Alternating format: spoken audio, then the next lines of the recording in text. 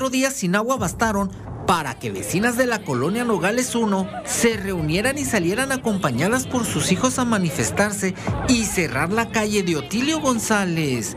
El caos vial en la zona no tardó en generarse y tras los reportes recibidos en el sistema de emergencias 911, al lugar acudieron elementos de la Policía Preventiva y Tránsito Municipal para entrevistarse con las manifestantes quienes se negaban a abrir la vialidad. Ya tenemos como un año con este problema, pero desde el lunes se nos fue el agua.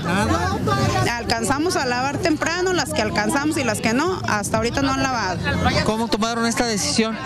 Mm, porque vinieron los de las pipas, pero nada más a las casas que alcanzaron. Y todos los demás, o sea, ¿nosotros qué? ¿A dónde? ¿O qué? O sea, es semana tras semana. No es el problema, no es ahorita. Entonces, ahí en la calle de Agapito, que es la última, se nos está escaseando el agua desde que se abrió ese parque, porque nos conectaron de ahí. Entonces, yo no sé si es la subida o, si estén gastando mucha agua en el parque, pero se nos escasea demasiado. principalmente con los que trabajan. Uno se queda en casa y dices, bueno, pero los que se van a trabajar, ya tenemos este cuatro días sin agua, este, nos la mandan a las 4 de la mañana.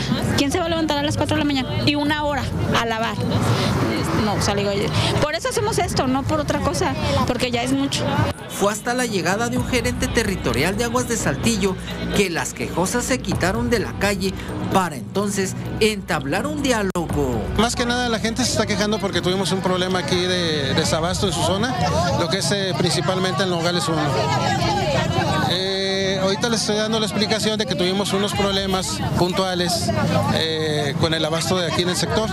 Son fallas hidráulicas que se resuelven en el momento, pero este, hoy sí no alcanzamos a suministrar agua. Por eso nos tenemos ahorita un poco molestos. Ahorita la gente, los que son las cuadrillas y los técnicos, se están encargando de empezar a suministrar agua en la zona. Yo considero que nos va a tomar de dos a tres horas que les empiece a llegar el agua para que en la madrugada ya estén abastecidos. Al principio los ánimos se encontraban tensos por la situación, sin embargo, con la llegada al lugar de un payaso, quien comenzó con sus bromas, hizo que todos se relajaran, lo que ayudó mucho en las negociaciones entre los trabajadores de la paramunicipal y las ciudadanas. ¡Agua, el agua!